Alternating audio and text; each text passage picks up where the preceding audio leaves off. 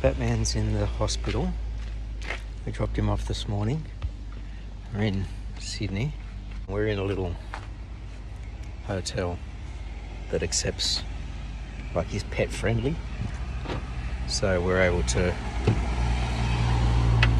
hang out with Sam this morning. And when Batman's surgery is done, we'll be able to bring him back here as well because they've got to check on him in the morning as, as well. So this is only like 15, 20 minutes from the hospital down here in Sydney.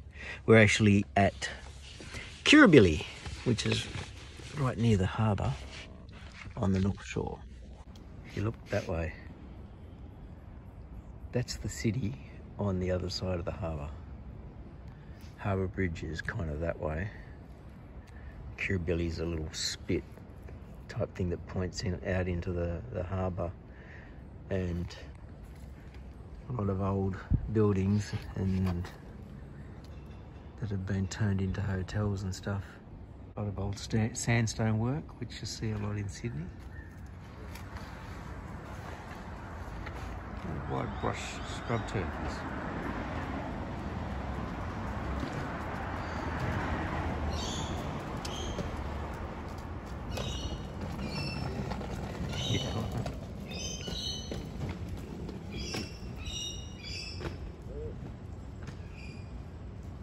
Little limp, mate.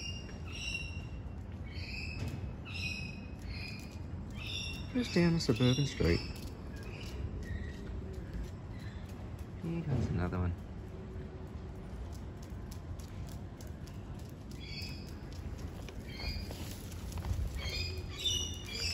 Oh, there you go, there's more. Parking inspector's been along here. Just where I'm walking down the street. Once it hits 8 a.m., it's only two hour parking along here. Okay, don't usually get to look at Sydney Harbour from this side. So there's the Opera House and the city, CBD, and the Harbour Bridge. Coming across from, I think this is known as Milson's Point, this side. So we were staying at Kirribilli, so we're just over there. Oh, there you go. Sydney Harbour from this side. that way's the ocean. That way's Parramatta.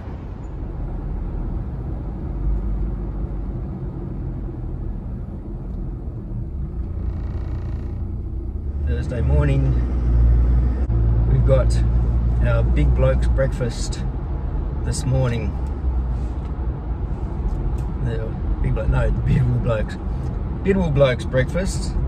Then we got rid of the big bit. Uh, it was something we used to do quite often, like every, around every Father's Day. And community groups in, footballers, people displaying cars, and a rock climbing wall, which we've got this year again as well. Um, stalls, everything like that. And the kids bring up their significant male role model at home, be it dad, uncle, older brother, grandfather, anything like that. And it's basically just like a fair carnival type thing for the first part of the, the day. So it goes up to 11 o'clock today. Thursday being our short day, we only have period three and four now, which means I've still got year eight, period four. We've got cooking happening. But this is our first Little Blokes breakfast um, since pre-COVID. I think our last one was in 2019 or may have been even 2018. It started being a thing where we might have done it every second year. Um, and yeah, the return of it, long awaited. Um, it is a really good event for the the school and the community. Let's see how it goes. I'm I run a, a go-kart track activity because um, in the past my metal teacher took um, some go-kart plans that I got when I was at uni and he built the carts with his um, class, but modified them to be push carts rather than go karts because you can't motorising them. And they look pretty good. And they, we basically set up a, a track where the kids have to be in, be in teams of two, push them around the track, and when they get to the back to the start, they have to do a um, driver and pusher change, and then do a second lap, and they get timed, and we'll do our like little awards or um, merits trophies for the best time in each age group type thing. So, well, I think it's a, like each year group. I'll work that out. And I checked on the carts the other day, um, put air in the front tyres. The tubes and valves from the back tyres seem to have disappeared. So I just got one of my staff to buy four new back wheels and another one to put them on. He put them on yesterday. And we'll borrow witches hats from the um, PE faculty. Set up our little course on the on the courts. Looking forward to it. Batman is doing okay. He's um, getting around really well. He, when I opened the front door this morning, he just ran out because he could see. Whereas in the last couple of weeks, he's been stopping and walking on the steps and waiting till the light went on and then he'd still step down really carefully. This morning he could see, he's got his big, uh, one of those cones so he doesn't scratch at his eyes. And he has to have a few oral medications with his food morning and night. And he has to have three sets of drops morning and night and two sets of drops. But two of those drops he has to have four times a day. And so my wife will be doing the other ones in the middle of the day, like spread out. And they're like anti-inflammatory and something for the pain and one is a pressure medication to stop pressure build up in the eyes while they're healing. He doesn't like having the drops. While I was doing the drops in the lead up, where it was just one one of the drops morning and night, it wasn't too bad. He was a little bit but he wasn't too bad. Now when you've got to do three sets and sort of space them out at least five minutes apart, he doesn't like them. But just like any of his medications, I think he'll get he'll get used to it, and apparently he'll have to be on the drops for quite a while. They said months. The oral medications are just take them till they're finished, and the only thing he can't do at the house is go through the doctor.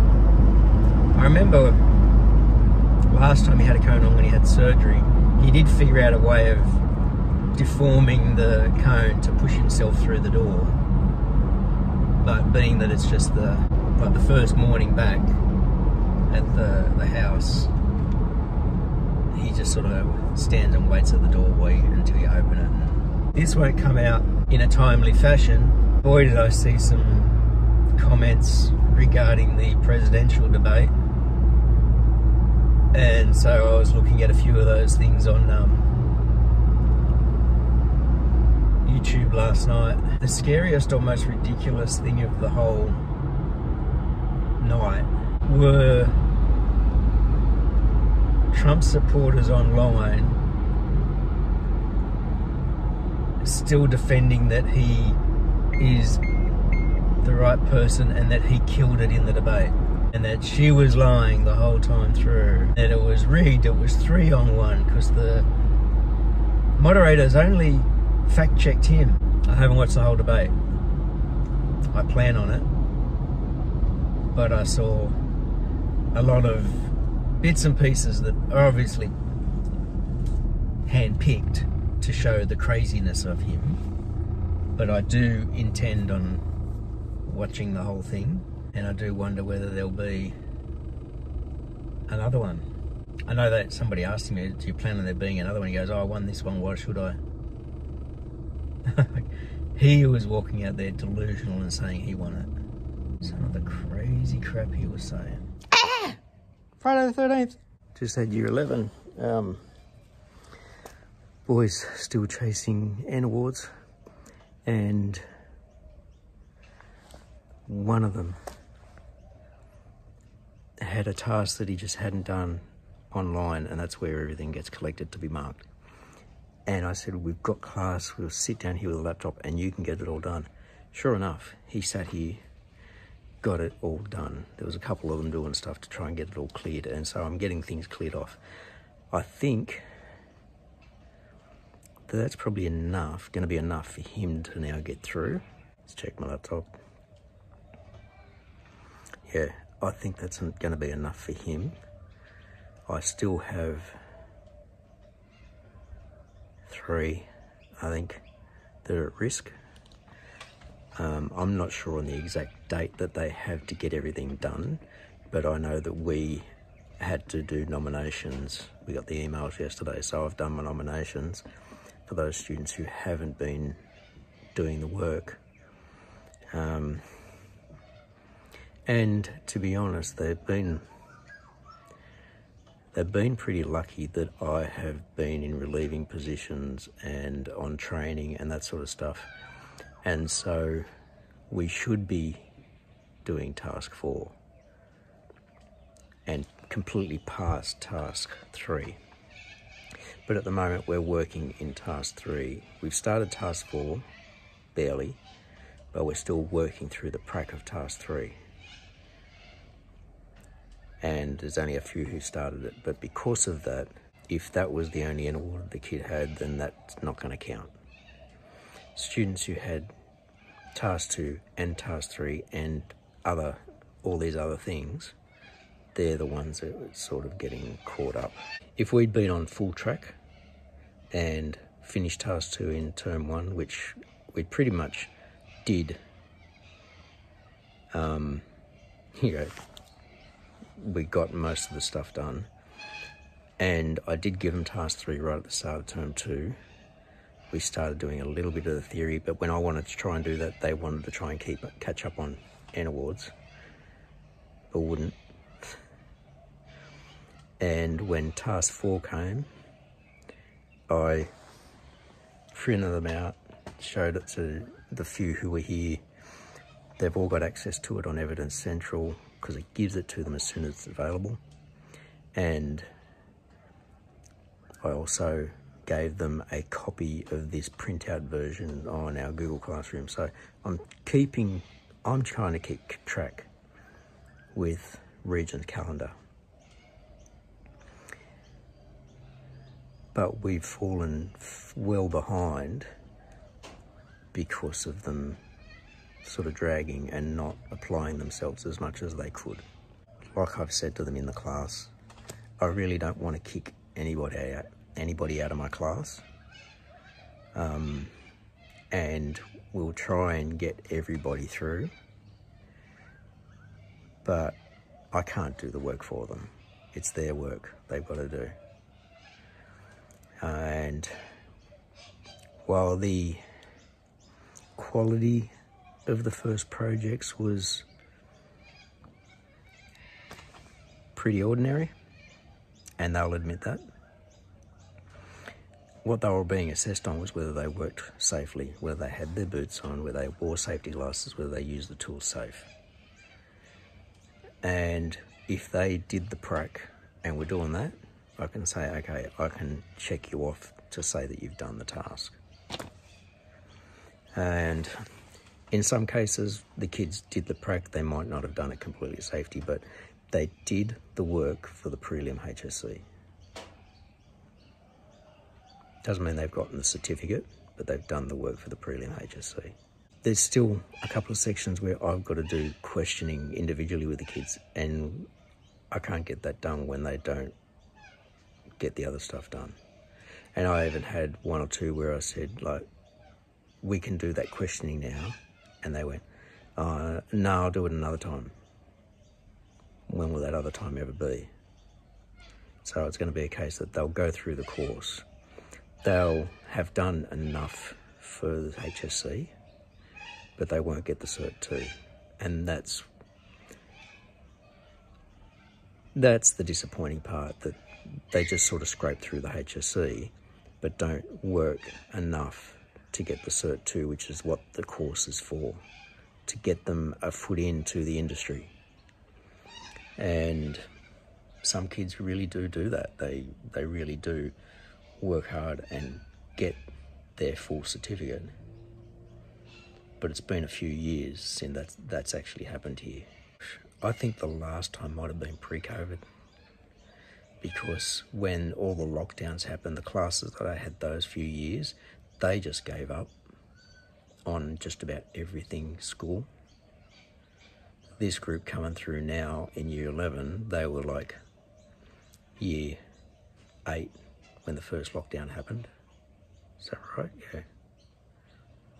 Um, so it affected them in the junior years, and because NESA put a relaxation on um, assessment for stage four, which they were part of. I think that relaxed attitude has flown th- flowed through with them because when I was doing the award process with them as year 10 last year, some of them even said, yeah, like we didn't really have to do assessments in year seven, eight, like in year eight and nine and stuff. And now they do and now it's really catching up on them. It's a mind shift and an attitude shift that's needed, and I hope that more of them can get it than currently are. Only time will tell, but I want to see as many of them get through as possible. I really do want to see as many of them get through as possible. Because if they want to go into construction, this is this is the best starting point for them. We'll see what happens.